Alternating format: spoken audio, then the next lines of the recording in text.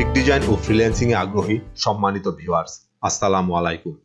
B designer and freelancer YouTube channel এবং Facebook পেজের পক্ষ থেকে আপনাদের আমন্ত্রণ জানাচ্ছি গ্রাফিক ডিজাইন ও ফ্রিল্যান্সিং শেখার ধারাবাহিক প্রক্রিয়ায়। Adobe Photoshop tutorial Bangla full কোর্সের গত পর্বে আমি ফটোশপ সফটওয়্যারের সাহায্যে কি কি ধরনের ডিজাইন করা যায় এবং সেই সকল ডিজাইন কোথায় কোথায় সেল করে অথবা কোন কোন অনলাইন মার্কেটপ্লেসে কাজ করে আপনারা ইনকাম করতে পারবেন তা দেখিয়েছি। আজকের পর্বেও আমি ফটোশপ সফটওয়্যারের নতুন কিছু বিষয় আপনাদের সাথে শেয়ার করতে যাচ্ছি।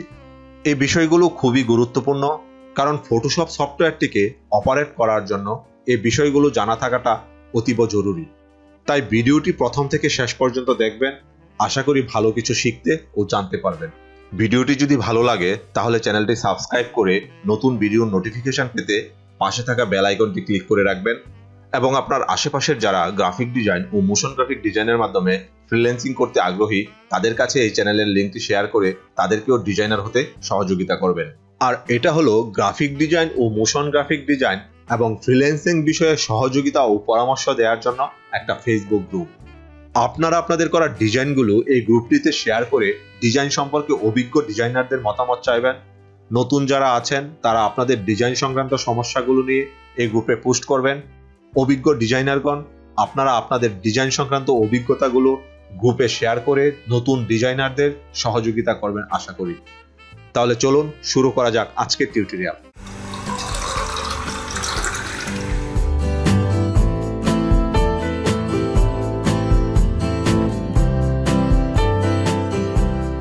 আজকের টিউটোরিয়ালটি এদুবি ফটোশপ সফটওয়্যারের উপর আমার দ্বিতীয় টিউটোরিয়াল। এই টিউটোরিয়ালে মূলত Photoshop software open introduction of interface palette customisation preference setting keyboard shortcut customisation work interface save করার পদ্ধতি সম্পর্কে জানব এই মুহূর্তে আপনারা যারা আমার টিউটোরিয়ালটি দেখছেন, তাদের প্রতি আমার পরামর্শ হলো, আপনারা অবশ্যই আপনাদের কম্পিউটারে একটা নোটপ্যাড ওপেন করবেন অথবা হাতের কাছে কাগজ কলম রাখবেন। কারণ আমি টিউটোরিয়াল করার ধারাবাহিকতায় বিভিন্ন অপশান বা শর্টকাট কি বলতে পারি যেগুলো আপনারা লিখে রাখবেন। কারণ পরবর্তীতে যখন আপনারা ছবি এডিটিং অথবা কোনো ডিজাইন নিয়ে কাজ করবেন, তখন এই অপশানগুলো অথবা এই শর্টকাট কিগুলো আপনাদের লাগবে যাতে আপনারা খুব সহজে এগুলো পেতে পারেন। কাজের ধারাবাহিকতায় প্রথমে আমার ফটোশপ সফটওয়্যার ওপেন প্রক্রিয়াটি দেখে নেই। যদিও এটি একদম বেসিক পর্যায়ের কাজ, আপনারা অনেকেই হয়তো বা জানেন। আর আমি একদম বেসিক পর্যায় থেকেই শুরু করছি যেহেতু, সেহেতু একবার দেখে আসি। আশা করি অপারেটিং সিস্টেম উইন্ডোজের সাথে আপনাদের সবার পরিচয় আছে। আমরা একদম টাস্কবারের স্টার্ট বাটনে গিয়ে যখন ক্লিক করব, তখন আমাদের ইনস্টলকৃত এদুবি ফটোশপ সফটওয়্যারটির আইকন দেখতে পারব। আমার এখানে এদুবি ফটোশপ সিসি দুই হাজার পনেরো সফটওয়্যারটি ইনস্টল করা আছে। আমি যদি এটাতে ক্লিক করি, তাহলেও সফটওয়্যারটি ওপেন হবে। আবার এইখানে যেভাবে আমি সফটওয়্যারের আইকনটি পিন করে রেখেছি, আমি ফটোশপের সফটওয়্যারটিও এখানে পিন করে রেখে দিতে পারি এবং এখান থেকেও আমি সফটওয়্যারটি ওপেন করতে পারি। সেই প্রক্রিয়াটি একবার দেখে নিই কীভাবে করতে হয়। এক্ষেত্রে ফটোশপ সফটওয়্যারের আইকনের উপর রাইট ক্লিক করলে মোর আসবে মোরের আন্ডারে পিন টু টাস্কবার নামক একটি অপশান থাকবে। এটাতে যদি আমরা ক্লিক করি, তাহলে আমাদের ফটোশপ সফটওয়্যারের আইকনটি আমাদের টাস্কবারে সংযুক্ত হয়ে যাবে। এখান থেকে ক্লিক করেও আমাদের ফটোশপকে আমরা রান করতে পারি। ফটোশপ রান করার পরে আমরা ডিফল্ট অবস্থায় একদম এই ধরনের একটি ইন্টারফেস দেখতে পারব। এখানে অনেক অপশান অথবা প্যালেট ইনএক্টিভ অবস্থায় আছে। আমরা যখন কোনো ডকুমেন্টস নিয়ে কাজ করব অথবা কোনো ছবি নিয়ে কাজ করব, তখনই এই ইনএক্টিভ অপশানগুলো অথবা প্যালেটগুলো অ্যাক্টিভ হয়ে যাবে। এই পর্যায়ে আমরা এই টোটাল ইন্টারফেসের বিভিন্ন অংশ সম্বন্ধে পরিচিত হব।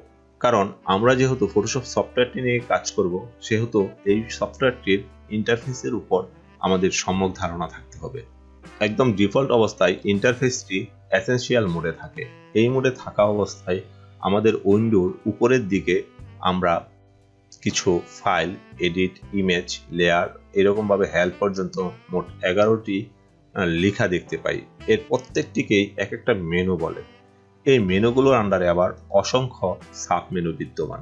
এই মেনুগুলো যে বারটিতে সন্নিবেশিত অবস্থায় আছে, এই বারটিকে মেনু বার বলা হয়। মেনু বারের ঠিক ডান পাশে উইন্ডোর উপরের দিকে এখানে একটি ক্লোজ বটন বিদ্যমান। আমরা যদি এই ক্লোজ বটনটিতে ক্লিক করি, তখন আমাদের এই সফটওয়্যারটি ক্লোজ হয়ে যাবে। ঠিক এই কাজটি আমরা ফাইল মেনুর অধীনে থাকা এক্সিট অপশানটি ব্যবহার করেও করতে পারি। এক্সিটের শর্টকাট কি হলো কন্ট্রোল কিউ আমরা যেহেতু এখন ফটোশপ সফটওয়্যারটির উপর কাজ করব, সেহেতু আমরা ক্লোজ না করি। ঠিক ক্লোজ বটনের পাশে আছে রিস্টোর বটন রিস্টোর বটনে যদি আমরা ক্লিক করি, তাহলে আমাদের সফটওয়্যারটি কিছুটা ছোট আকারের হয়ে যাবে। এই অবস্থা থেকে আমরা যদি আবার সফটওয়্যারটিকে আবার পূর্বের অবস্থায় ফিরিয়ে নিয়ে যেতে চাই, তাহলে আমরা আবার এই বটনতেই ক্লিক করব। এই বটনটি এখন ম্যাক্সিমাইজ বটনে রূপান্তরিত হয়েছে। আমরা এটাতে ক্লিক করার সাথে সাথে সফটওয়্যারটি পূর্বের অবস্থায় উইন্ডোতে সেট হয়ে বসে গেছে। ঠিক ম্যাক্সিমাইজ বটনের পাশেই আছে মিনিমাইজ বটন এটাতে যদি ক্লিক করি, তাহলে সফটওয়্যারটি আমার মিনিমাইজ হয়ে টাস্কবারে চলে আসবে। এখান থেকে যদি আমরা আবার এই আইকনটিতে ক্লিক করি সফটওয়্যারটি আবার টোটাল উইন্ডো জুড়েই প্রদর্শিত হবে। এই ডান পাশটাতে যে বক্সটা আমরা দেখতে পাই, তার নাম হলো প্যালেট বক্স আমাদের কাজের সুবিধার্থে এবং প্রয়োজনে বিভিন্ন সময় আমাদের বিভিন্ন প্যালেট এখানে গুছিয়ে রাখতে হয়। এই প্যালেটগুলো কীভাবে গুছাতে হয় অথবা আমাদের ওই সময়ের অপ্রয়োজনীয় প্যালেট কীভাবে এখান থেকে রিমুভ করতে হয়, সে সম্পর্কে আমি একটু আপনাদের ধারণা দেই। যেমন, আমার সামনে এখন এইখানে একটা প্যালেট এইখানে একটা প্যালেট এইখানে একটা প্যালেট, আর এইখানে কয়েকটা প্যালেট দেখা যাচ্ছে। তো আমি যদি মনে করি যে এই প্যালেটটি আমার এখন প্রয়োজন নেই, এটাকে আমি ডিলেট করে দিতে চাই, অথবা এই প্যালেটটি আমার প্রয়োজন নেই, এটাকে আমি ডিলেট করে দিতে চাই, আমি অতি সহজেই এটাকে ডিলেট করে দিতে পারি। সেটা কীভাবে? এখানে আমরা এই প্যালেটের অধীনে দুটো ট্যাব দেখতে পাচ্ছি। এই দুটো ট্যাবকে যদি একত্রে ডিলেট করতে চাই, সেক্ষেত্রে এই যে কোনো একটা ট্যাবের উপর মাউসটি পয়েন্টার রেখে রাইট ক্লিক করলে আমার সামনে যে অপশানগুলো দিবে, তার মধ্যে প্রথমেই আছে ক্লোজ তারপর আছে ক্লোজ ট্যাব গ্রুপ আমি যদি ক্লোজ ক্লিক করি, তাহলে শুধুমাত্র এই ট্যাবটি ক্লোজ হবে। যেমন এটা যদি আমি দেখি ক্লোজে ক্লিক করে, আমার কালার ট্যাবটি চলে গেছে। এখন আমি যদি এই টোটাল গ্রুপটিকেই ডিলেট করতে চাই, এখানে যেমন লেয়ার চ্যানেল পাথ তিনটা ট্যাব নিয়ে একটা গ্রুপ আছে প্যালেটের আমি যদি টোটাল প্যালেটটাকে ডিলেট করতে চাই সেক্ষেত্রে যে কোনো একটা ট্যাবের উপর রাইট ক্লিক করে আমি ক্লোজ ট্যাব গ্রুপ দিয়ে দিব। সেক্ষেত্রে আমার টোটাল প্যালেটটি রিমুভ হয়ে গেছে। আমাদের প্যালেটগুলো আছে মেনু বারের উইন্ডো মেনুর আন্ডারে উইন্ডো মেনুর আন্ডারে এরকম বেশ কয়েকটি মেনু আছে যেগুলো আমাদের কাজের প্রয়োজনে এক এক সময় এক একটা মেনুর প্রয়োজন পড়বে। যেমন আমার লেয়ার মেনুটি খুব জরুরি, প্রয়োজন, যেটা আমি একটু আগেই রিমুভ করে দিয়েছি। এটাকে যদি আমি, এই প্যালেট বক্সে অ্যাড করতে চাই সেক্ষেত্রে আমরা লেয়ারে ক্লিক করব। লেয়ারে ক্লিক করলে আমাদের এই প্যালেটটি এখানে আবার অ্যাড হয়ে যাবে। এখন আমরা যদি আমাদের ট্যাক্স নিয়ে কোনো কাজ করতে চাই, সেক্ষেত্রে ক্যারেক্টার প্যারাগ্রাফ এগুলোর প্রয়োজন পড়বে। এগুলো পুনরায় এখানে অ্যাড করার জন্য আমরা উইন্ডো মেনুতে চলে যাব। উইন্ডো মেনুতে গিয়ে আমরা দেখব প্যারাগ্রাফ কোথায় আছে। আমরা এখানে প্যারাগ্রাফ পেয়েছি। এটাতে যদি ক্লিক করি, আমাদের প্যারাগ্রাফটি এই প্যালেট বক্সের এখানে আইকন হিসাবে সংযুক্ত হয়ে গেছে। যেমন আমি যদি এখন এটা এক্সপান্ড অবস্থায় আছে, এই এরোতে ক্লিক করলে এটা কলাপস হয়ে যাবে। আবার আমি যদি এক্সপান্ড করতে চাই, এখানে ক্লিক করলে এক্সপান্ড হবে। অনেক সময় এটা এরকম আলাদা হয়ে যেতে পারে, সেক্ষেত্রেও চিন্তা করার কিছু নেই। আপনারা জাস্ট এখানে ড্রাগ করে যখন আপনারা বক্সে নিয়ে যাবেন, তখন এরকম একটা কালার চলে আসবে। তার মানে এটি এই বক্সে সংযুক্ত হওয়ার জন্য এখন প্রস্তুত ছেড়ে দিলে এটাতে সংযুক্ত হয়ে যাবে। আবার আমরা ইজিলি এই প্যালেটগুলোকে এখানেও সংযুক্ত করতে পারি। সেটা কীভাবে? ধরি আমি একটা প্যালেট নিয়ে আসি এখন লাইব্রেরি প্যালেটটাই নিয়ে আসি। অথবা আমরা যদি এখন হিস্টোগ্রাম প্লেটটা নিয়ে আসি। হিস্টোগ্রাম প্লেটটা এখানে চলে আসছে। এটাকে আমরা একটু বের করি নিয়ে এসে দেখাই যে এখানে কীভাবে অ্যাড করব। ঠিক পূর্বের মতোই এটাকে আমি ড্রাগ করে যদি এখানে নিয়ে যাই, দেখব কালার চেঞ্জ হয়ে গেছে। তার মানে এটা এখানে অ্যাড হওয়ার জন্য প্রস্তুত। ছেড়ে দিলেই এই যে হিস্টোগ্রাম এখানে অ্যাড হয়ে গেছে।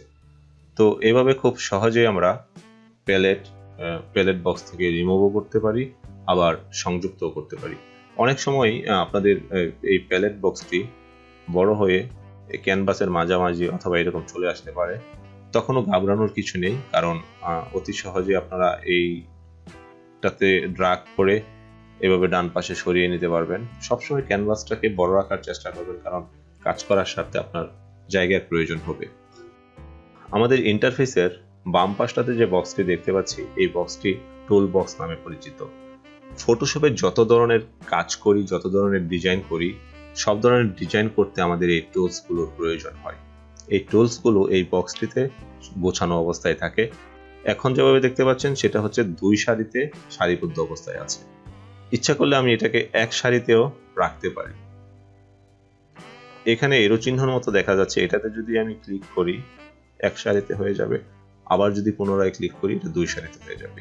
এই টুলস বক্সটাকেও আমি আমার প্রয়োজন মতো যে কোনো জায়গায় সাজিয়ে রাখতে পারি। কিন্তু আমার কাজের সুবিধার্থে আমি এটাকে বাম পাশেই রাখব। এইখানে যে বারটি দেখতে পাচ্ছি, সেটার নাম হচ্ছে অপশান বার এই অপশান বারটি এই টুলস বারের টুলসের অপশান আমরা যখন কাজ করার স্বার্থে যে টুলসটি সিলেক্ট করি, ওই টুলস টুলসের এগেনস্টে এখানে কিছু অপশান চলে আসবে। যেগুলো আমাদের ছবি এডিটিং বা ডিজাইন করার ক্ষেত্রে খুবই গুরুত্বপূর্ণ ভূমিকা পালন করে। যেমন, আমি এখন মুভ টুলে আছি এই জন্য মুভ টুলের এগেনস্টে এখানে কিছু অপশান দেখাচ্ছে। আমি যদি এখন ম্যাজিক ওয়ান টুলে চলে যাই, সাথে সাথে আমাদের এই অপশানগুলো পরিবর্তিত হয়ে গেছে। আবার যদি আমি লেসু টুলে চলে যাই, তখনও দেখা যাবে এখানের অপশানগুলো পরিবর্তিত হয়ে গেছে। তার মানে হলো, এইখানে যত টুলস আছে, যখন যে টুলসটা আমি সিলেক্ট করব, ওই টুলসের এগেনস্টে এখানে অপশানগুলো চলে আসবে এবং এই অপশানগুলো অ্যাপ্লাই করেই আমরা ছবি এডিটিং বা ডিজাইন সম্পাদিত করব। এ পর্যায়ে আমি ফটোশপ সফটওয়্যারটির কিছু সেটিংস নিয়ে কথা বলব। সেজন্য আমাকে মেনুর কিছু সাবমেনু নিয়ে কাজ করতে হবে। সেটা হলো প্রিফারেন্স নিয়ে কিছু কথা বলব, যা এডিট মেনুর আন্ডারে অবস্থিত। এডিট মেনুর প্রিফারেন্সে যদি আমরা চলে যাই, এখানে জেনারেল ইন্টারভেস এরকম কিছু অপশান দেখতে পারব। প্রিফারেন্সের শর্টকাট কি হলো? কন্ট্রোল কে আমরা যদি কন্ট্রোল কে চাপি, এই উইন্ডোটি আমাদের সামনে প্রদর্শিত হবে। এখানে জেনারেলে ডিফল্ট অবস্থায় যা আছে তাই থাকুক। তারপর আমরা ইন্টারফেসে চলে যাব। ইন্টারফেসের আন্ডারে কিছু সেটিংস আছে। যেমন এখানে কালার থিম একটা অপশান আছে। এই কালার থিমের মানে হলো আমার সফটওয়্যারটি আমার সামনে কোন কালার নিয়ে প্রদর্শিত হবে, সেটা এই কালার থিমের উপর ডিপেন্ড করে। যেমন এখন এই গ্রে কালারটি সিলেক্ট করা আছে। আমি যদি ব্ল্যাকটি সিলেক্ট করি, সাথে সাথে দেখলাম আমার ইন্টারফেসটি একটু পরিবর্তিত হয়ে গেছে। এইবার যদি আমি এই কালারটি সিলেক্ট করি কালারটি আবার পুনরায় পরিবর্তিত হয়ে গেছে। তো এখান থেকে আপনারা অতি সহজেই আপনার সফটওয়্যারের কালার সিলেক্ট করতে পারবেন। আমি কাজের স্বার্থে আমার সুবিধার্থে আমি এই কালারটি সিলেক্ট করে রাখব। আরেকটা বিষয় এখানে হচ্ছে ইউআই ফন্ট সাইজ এটা হচ্ছে আপনার সফটওয়্যারের ফন্টগুলো কি আকারে প্রদর্শিত হবে সেটা আপনি এখান থেকে সিলেক্ট করে দিতে পারেন। এখানে মিডিয়াম আছে স্মল আছে লার্জ আছে টিনি আছে। আমি মিডিয়ামটাই প্রিফার করব। তারপরে আমরা ওয়ার্ক প্লেসে দেখি কিছু সেটিংস করতে হয় কিনা। ওয়ার্ক প্লেসের আন্ডারে আমরা একটা সেটিংস ঠিক করব, সেটা হচ্ছে ওপেন ডকুমেন্ট অ্যাজ ট্যাব এর মানে হলো আপনার প্রত্যেকটি ছবি বা কোনো ডকুমেন্ট কি আকারে আপনার সফটওয়্যারে ওপেন হবে, সেটা আপনি এখান থেকে সিলেক্ট করে দিতে পারেন।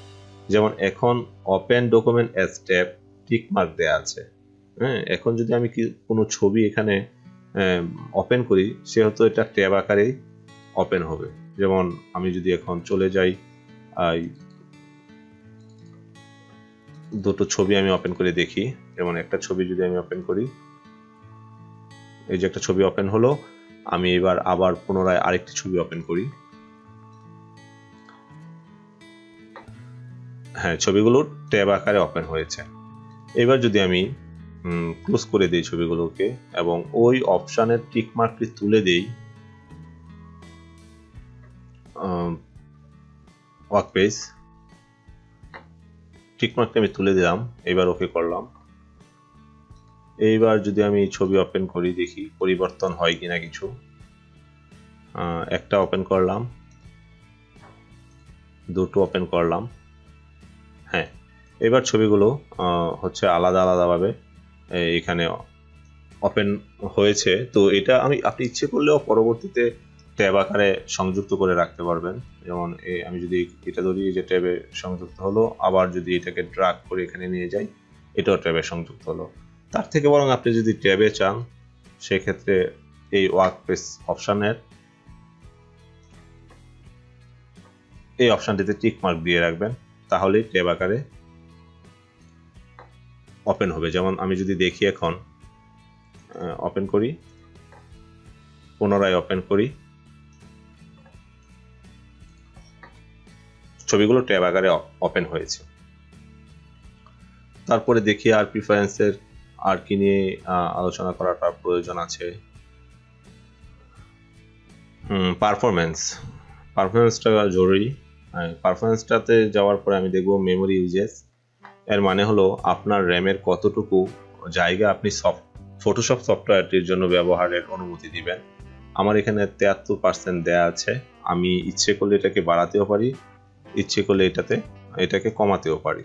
আরেকটা বিষয় এখানে আছে, সেটা হলো হিস্টোরি স্ট্রেচ আপনি যখন ফটোশপে কাজ করবেন, হঠাৎ মনে হলো আপনার কিছু ভুল হচ্ছে। আপনি এবার ব্যাকে আসতে চাচ্ছেন। এই ব্যাকে কতটুক আসতে পারবেন, সেটার মানই এখানে আপনি নির্ধারণ করে দিতে পারবেন। এটা আপনি আপনার মতো করে এখানে সেট করে দিতে পারেন। তারপর আরেকটা অপশান হলো স্ক্র্যাচ টিক্স স্ক্র্যাচ টিক্সটা হলো আমি যখন ফটোশপ সফটওয়্যারটিতে কাজ করব, তখন আমার জাং ফাইলগুলো কোথায় গিয়ে জমা হবে? এটা সাধারণত ডিফল্ট অবস্থায় সি ড্রাইভ দেখানো থাকে। আপনার যদি অন্যান্য ড্রাইভে একটু জায়গা বেশি থাকে, তাহলে পাশাপাশি অন্য একটি ড্রাইভ দেখিয়ে দিবেন। তাতে হচ্ছে আপনার কম্পিউটারটি এই ফাস্ট কাজ করবে। আরেকটা খুবই গুরুত্বপূর্ণ অপশন হচ্ছে ইউনিট অ্যান্ড রোলার্স এখানে আপনি কোন ইউনিটে কাজ করবেন, সেটা এখান থেকে সিলেক্ট করে দিতে পারেন। আপনি ইচ্ছে করলে পিকজেলও দিতে পারেন, আপনি ইচ্ছে করলে ইনসিও সিলেক্ট করতে পারেন। সেটা একান্তই আপনার ব্যক্তিগত ব্যাপার, তবে আমি প্রিফার করব, আপনি পিকজেলেই কাজ করবেন। আরেকটা ব্যাপার হচ্ছে গাইডস গ্রিডস অ্যান্ড স্লাইস এখানে গাইড গ্রিডস অ্যান্ড স্লাইসের কালার আপনি সিলেক্ট করে দিতে পারবেন। যেমন এখানে গাইডসের কালার আছে সাইন স্মার্ট গাইডসের কালার আছে মেজেন্টা গ্রিডের কালার আছে রেড স্লাইসের কালার আছে ব্লু লাইট ব্লু। আমি যদি এখন একটু দেখে আসি, সেজন্য আমি ভিউ মেনুতে গিয়ে শুতে গিয়ে আমি যদি গ্রিডটা নিয়ে আসি, রেড কালারে চলে আসছে, এরকমভাবে অন্যগুলো তাহলে ঠিকঠাকই আসবে। আপনি এখান থেকে এই কালারগুলো ইচ্ছে করলেই পরিবর্তন করতে পারবেন। তো এই হলো প্রিফারেন্স নিয়ে আলোচনা। আপনি প্রিফারেন্সটা আপনার মতো করে গোছানোর পরে আপনি জাস্ট ওকে দিয়ে দিবেন। তাহলে আপনার এই প্রিফারেন্সটা আপনার মতো করে সেটিংস হয়ে যাবে। এইবার আরেকটা অপশান হচ্ছে শর্ট কিবোর্ড শর্টকাট আমি গ্রিড গ্রিডটা তুলে দিই। ভিউ মেনুতে গিয়ে শু গ্রিডটা তুলে দিই। কিবোর্ড শর্টকাটটাও খুবই জরুরি। আপনি যদি আপনার মতো করে শর্টকাট কিগুলোকে কাস্টমাইজেশন করতে চান, সেক্ষেত্রে আপনি কাস্টমাইজেশন করতে পারবেন। অথবা আপনি যদি ডিফল্ট অবস্থায় কাজ করতে চান, সেটাও করতে পারবেন। যদি কাস্টমাইজেশন করতে চান, কোথায় গিয়ে করবেন সেটা আমি একটু দেখিয়ে দিয়ে আসি। সেটা হচ্ছে এডিট মেনুর আন্ডারে সাব মেনু কিবোর্ড শর্টকাট এখানে যাওয়ার পরে আপনি প্রত্যেকটা মেনু ধরে ধরে তার প্রত্যেকটা সাব মেনুর শর্টকাট পরিবর্তন করতে পারবেন। যেমন আমি একটু দেখিয়ে দিই, এখানে কন্ট্রোল এন আছে। কন্ট্রোল এন হলো নিউ ডকুমেন্ট নিয়ে আসার। আমি একটু দেখি কন্ট্রোল এন যদি চাপি আমি, এখানে নিউ ডকুমেন্ট ওপেন করার জন্য উইন্ডো এসেছে, আমি এটা একটু পরিবর্তন করে আপনাদেরকে দেখাবো। সেটা হচ্ছে, আমি কিবোর্ডে গিয়ে কিবোর্ড শর্টকাটে গিয়ে আমি কন্ট্রোল এনের স্থলে আমি যদি অন্য কিছু দেই, তাহলে অন্য কিছু দেওয়ার পর আমি যখন ওকে দিব তখন ওই কন্ট্রোলের সাথে ওটা প্রেস করলেই ওভাবে এটা সেট হয়ে যাবে। ঠিক এরকমভাবে আপনি প্রত্যেকটি মেনুর সাব মেনুগুলো আপনার মতো করে কাস্টমাইজেশন করতে পারবেন। তবে আমার দিক থেকে পরামর্শ হলো, আপনারা সাধারণত ডিফল্ট অবস্থায় কাজ করবেন। ফটোশপটিতে কোনো ছবি অথবা কোনো ডকুমেন্টস নেওয়ার পরে আরও কিছু অপশান চলে আসে, যেমন এখানে উপরের দিকে ডানে বামে যে রোলার বারটি দেখতে পাচ্ছি, সেটা হচ্ছে হরিজন্টাল রোলার বার আর ঠিক এই পাশটায় উপরে নিচে যে রোলার বারটি দেখা যাচ্ছে, সেটা হচ্ছে ভার্টিক্যাল রোলার বার রোলার বারের কাজ কি, তা পরবর্তীতে আমরা দেখব অবশ্য। আপাতত নামগুলো জেনে রাখি। আবার আমরা যখন এই ছবিটাকে যদি জুম ইন করি তখন কিছু পরিবর্তন আবার এখানে দেখা যাবে। যেমন জুম ইন করি জুম ইন করার শর্টকাট কি হচ্ছে? কন্ট্রোল প্লাস জুম ইন হওয়ার সাথে সাথে এখানে দুটো স্ক্রল বার প্রদর্শিত হচ্ছে। একটি হচ্ছে উপরে নিচে, আরেকটি হচ্ছে ডানে বামে। তো ডানে বামে যে স্ক্রল বারটি বিদ্যমান দেখাচ্ছে, সেই স্ক্রল বারটিকে হরিজন্টাল স্ক্রল বার বলে। আর এই পাশটায় যে উপরে নিচে যে স্ক্রল বারটি দেখাচ্ছে, সেটাকে ভার্টিক্যাল স্ক্রল বার বলা হয়। এই পাশে একটা আমরা মান দেখতে পাচ্ছি এখানে। এটার নাম হলো জুম ইন্ডিকেটর ডকুমেন্টসে কতটুকু জুম হলো, সেটা ইন হোক বা আউট হোক, সেই মানটি এখানে প্রদর্শিত হয়। যেমন এখন এখানে দেখা যাচ্ছে three point three three percent এটাকে যদি আমি আরও বড় করি এখন six point six seven percent দেখাচ্ছে। এখন যদি আমি ছোট করে আসি পঁচিশ পার্সেন্ট দেখাচ্ছে। এটা ইচ্ছে করলে আমি মান সিলেক্ট করেও দিতে পারি যে আমার এটা কতটুকু জুম হবে। যদি সেটা করতে চাই, এখানে গিয়ে জাস্ট মানটা লিখে আমি ইন্টার প্রেস করব। সেই অনুযায়ী এটা জুম ইন অথবা জুম আউট হয়ে যাবে। ঠিক তার পাঁচটাতেই এখানে কিছু তথ্য আমরা দেখতে পাচ্ছি, যেটার নাম হচ্ছে স্ট্যাটাস বার এই স্ট্যাটাস বারটির কাজ হলো, আমার এই ওপেনকৃত ডকুমেন্টটি টোটাল তথ্য মোটামুটিভাবে এখানে প্রদর্শিত হবে। যেমন আমি যদি এই ছবির সম্পর্কে জানতে চাই সেক্ষেত্রে আমি যদি এটাতে ক্লিক করি এটার ওয়াইড কত হাইট কত চ্যানেল কি রেজুলেশন কত, তা দেখাচ্ছে। এবার আপনি আপনার টোটাল ইন্টারফেসটি আপনার মতো সাজানোর পর যেমন আপনি যদি আপনার এই প্যালেট বক্সটি আপনার মতো গুছিয়ে নেন, আপনার টুলবারটি আপনার মতো গুছিয়ে নেন, এরপর যদি আপনার এই ইন্টারফেসটিকে আপনার ওয়ার্ক পেস হিসাবে সেভ করে রাখতে চান, সেটা কীভাবে করবেন সেটা আসুন একটু দেখে নেই। আপনার সফটওয়্যারের ইন্টারফেসটি বা ওয়ার্ক পেজটি আপনার মতো সাজানোর পর আপনি চলে যাবেন ঠিক এইখানে ওয়ার্ক পেজের যে অপশানগুলো আছে এইখানে। এইখানে যাওয়ার পরে আপনি এখানে ড্রপ ডাউন এরোতে ক্লিক করবেন। ড্রপ ডাউন এরোতে ক্লিক করার পর আপনার সামনে এখানে কিছু অপশান আসবে, যার এইখানটায় থাকবে নিউ ওয়ার্ক পেজ এই নিউ ওয়ার্ক পেজে যদি আপনি ক্লিক করেন তাহলে আপনি আপনার ওয়ার্ক পেজটি সেভ করে রাখার অপশান পাবেন। এখানে আপনি নেমের গড়ে আপনার কাঙ্ক্ষিত নামটি দিবেন। আমি গ্রাফিক নামটি দিলাম। গ্রাফিক নামটি দেওয়ার পর আমি সেভ করে দিলাম। আমি এতক্ষণ ধরে যে ওয়ার্ক পেজটি গুছিয়েছি, সেটা গ্রাফিক নামে সেভ হয়ে আছে।